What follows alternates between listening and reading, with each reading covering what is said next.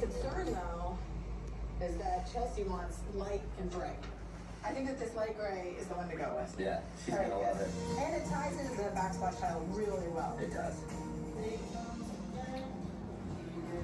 Big king size bed. Enough to sleep for two, two down there Okay. too. Yeah. In these cases are new boxes. And I need you to pick which ones you like best so that we can order them with your prescription in them. I like this. I like this one the most. I don't even know which one that is. Hazel Jasmine's daughter.